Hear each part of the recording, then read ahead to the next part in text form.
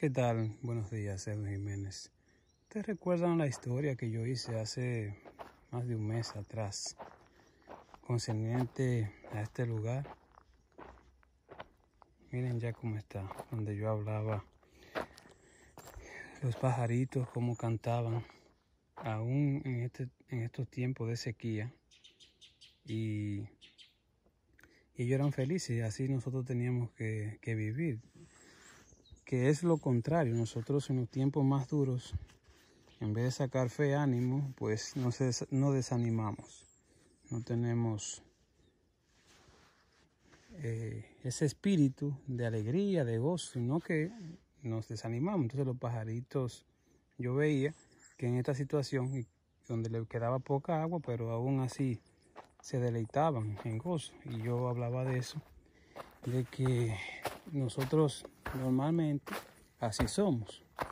En los tiempos más áridos de la vida, pues nos desencantamos, nos desanimamos, lloramos. Y somos humanos, hay que entender esa parte, eso es. Pero el Señor entonces nos manda a ser valientes, a, a gozarnos, dice a cantar salmos, a glorificar a Dios en los tiempos más difíciles. Miren, ya los pajaritos ya no cantan. Ya se fueron aparentemente. ellos estaban ahí mientras había agua. No sé si algunos se fueron o algunos fallecieron por el asunto de la sequía. La cosa es que ya agua no hay. Eso es un ejemplo de la vida que estamos viviendo hoy. Eh, ahora mismo queda poca agua de la vida y vendrá una gran sequía y nosotros ya tenemos que irnos preparando, preparando señores. No es nada para lo que ha de venir, entonces ya tenemos que empezar a darnos cuenta de que este poco manantial de vida que queda en la humanidad ya le queda poco tiempo. Así como esos pajaritos hace unos, unas cuantas semanas cantaban, ya no están cantando, ya se fueron, se acabó la alegría. Pronto la verdadera alegría se va a acabar.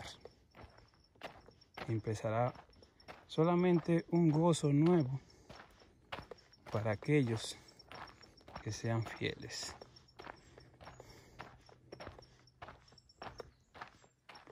Así que aparentemente esa verdadera alegría que muchos sentimos no es la verdadera alegría.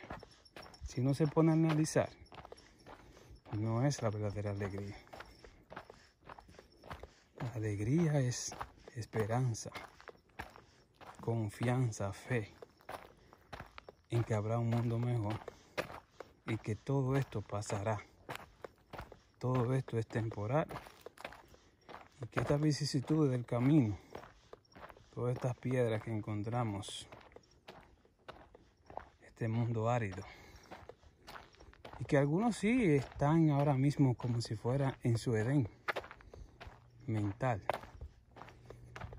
pero pronto veremos la realidad de las cosas.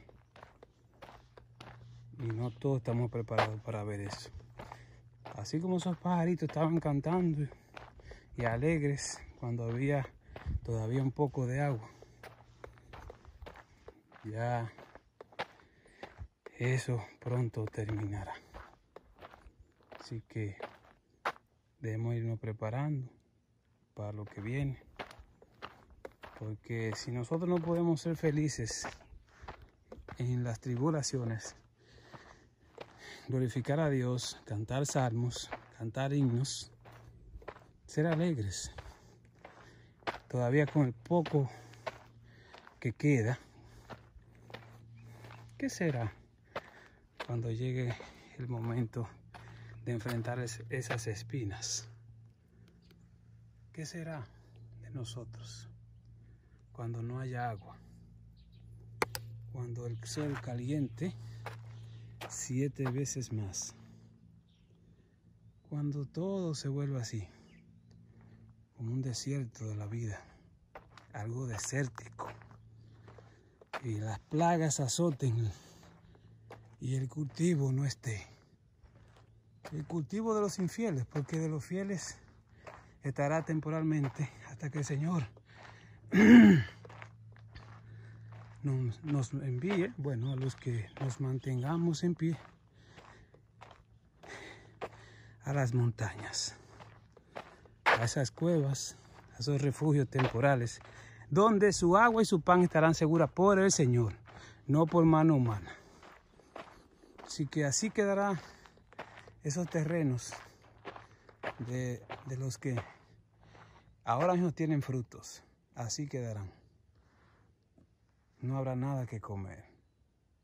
Solamente amargura, tristeza, calor horrible no habrá nada. Todo se, las plagas destruirán y el sol, el calentamiento de la tierra, acabará con todo. Así que vayámonos preparando para el día grande. Nos vemos. Bye bye.